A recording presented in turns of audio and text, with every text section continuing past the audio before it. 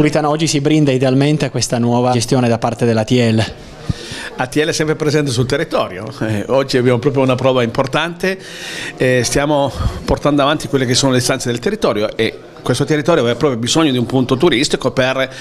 portare avanti quelle che sono le, le bellezze naturali che abbiamo eh, dalla, dalla, montagna, dalla, dalle grotte, e tutto quello che poi la parte sentieristica. Quindi noi cerchiamo di, di, promuovere questo territorio con i nostri uffici turistici pensando di avere un grande risultato, soprattutto un riscontro turistico, che sembra che dopo il riposizionamento che abbiamo avuto sul, sull'outdoor ci sta dando ragione e ci sta dando anche dei grandi risultati e soddisfazioni. In una di quelle che sono le roccaforti del turismo montano del nord-ovest dell'Italia, il fatto che nasca questa collaborazione fra l'ATL del Cunese e l'amministrazione dell'Amica Io del Caramello non può che fare bene, fare bene per una promozione importante per l'estate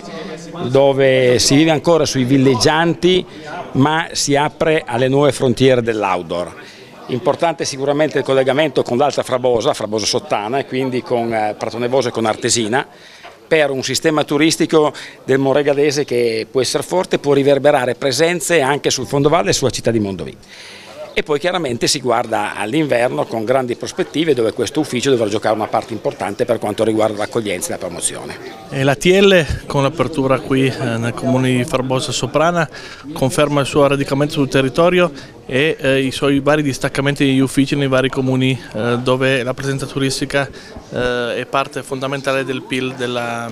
della città stessa. La scorsa settimana a Garessio, questa settimana l'apertura qui a Famosa Soprana dimostra come eh, c'è attenzione verso il turismo e verso il turismo di tutte le vallate dove eh, le presenze comunali sono all'interno della TL. Una bella maniera per portare avanti il discorso turistico di un'unione che comunque al suo interno i comuni diciamo, forse più importanti per quanto riguarda risultati e risposta turistica degli ultimi anni per quanto riguarda sia l'inverno che l'estate. Eh, l'ufficio turistico comunque è fondamentale, fondamentale perché comunque rappresenta il proprio comune, però in questo, in questo frangente eh, rappresenta anche l'unione